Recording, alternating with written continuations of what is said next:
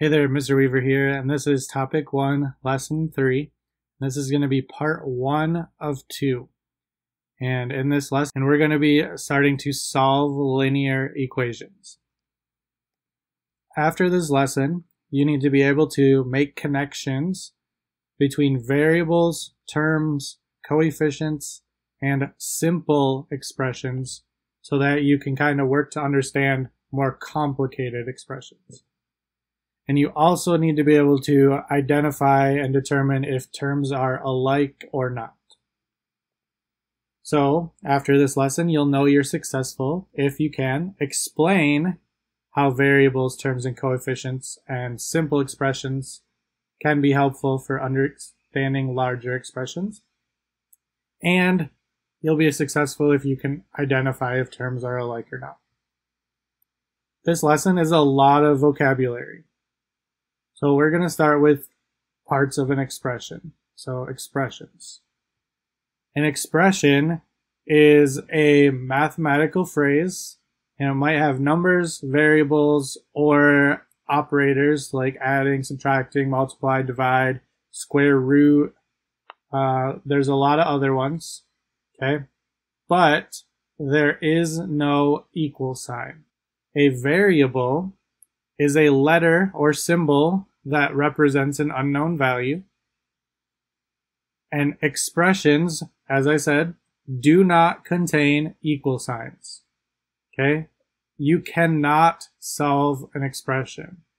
However, you can simplify by combining like terms.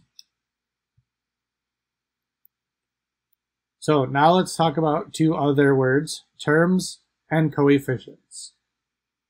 So terms are parts of an expression that are separated by a plus and a minus sign. The coefficient is the value in front of a variable in a term. If there is no coefficient, and I put no in quotation marks because there actually is one, the value is 1.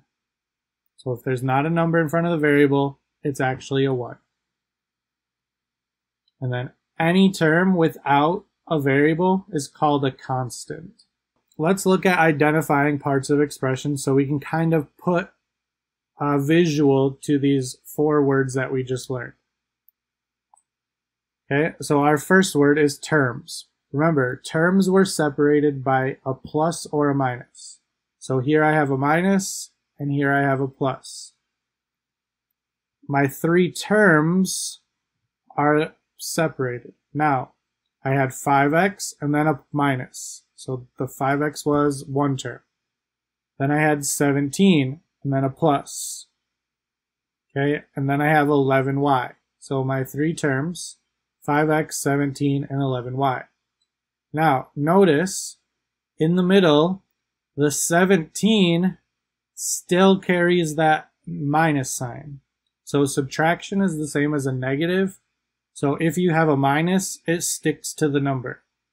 So in this case, it'd be minus 17. Okay, we don't need the plus sign for any of the positive terms. In this same expression, we have two variables, an x and a y.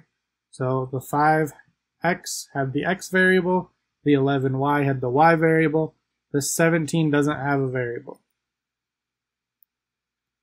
Our coefficients are our numbers that are in front of the variables. So 5 was in front of the x, that's the coefficient. 5 is the coefficient of x, and 11 was in front of the y. So 11 is the coefficient of y. Okay? 17, again, our negative 17, didn't have a variable, so it doesn't count as a coefficient. However, it does count as a constant. Because remember, a constant is a number without a variable. Pause the video and see if you can identify the terms, variables, coefficients, and constants in this expression. Now that you've had a chance, let's look at what fits into each of the four categories. So your terms were what's separated by plus or minus. So I have negative 2.5y, negative 8, positive z, again we don't need to put the plus, and negative 9x. In this expression, your variables are x, y, and z, or you might have wrote y, z, and x. Your coefficients are the numbers in front of those. So negative 2.5 was the coefficient of y. 1 is the coefficient of z. Remember, if there is no coefficient, it's a 1. And then negative 9 is our coefficient of x.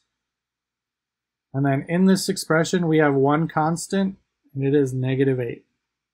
Now let's look at like terms.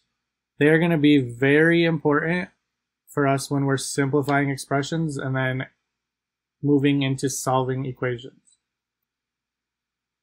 So we need to decide if terms are like or unalike, so not alike. Okay, now in order for terms to be like terms, they need to have the same variable and that variable has to be to the same exponent. In this first row, we have negative 3c and 5c squared.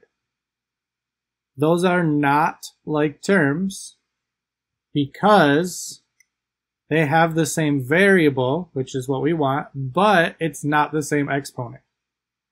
Okay, if they were both c to the second powers, we'd be fine. If they were both just c, we'd be fine. But it has to be the same variable and the same exponent. Let's look at the next one. We have 14 and 20. These are like terms, okay? They are both constants. They have the same variable, or lack of, and they don't have an exponent. They are like terms. In the third row, we have 8.5x and 8.5y. Are they like or not? These are not like terms. Okay, they might have the same coefficient of 8.5, but that's not what's important. We need to have the same variable and the same exponent. x and y are not the same variable. They are not like terms. And then last one, we have 100p and negative p. These are like terms. They have the same variable and the same exponent. Okay, that negative sign is just a negative 1. So the coefficients are 100 and negative 1. But the, the variable in the term, p, is the same in both.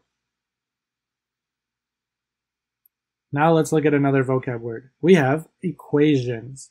So equations are different than expressions because they have an equal sign. Okay? It shows that two expressions are equivalent or equal. Okay? So we have an expression on one side of the equal sign and an expression on the other. Those two things are equal.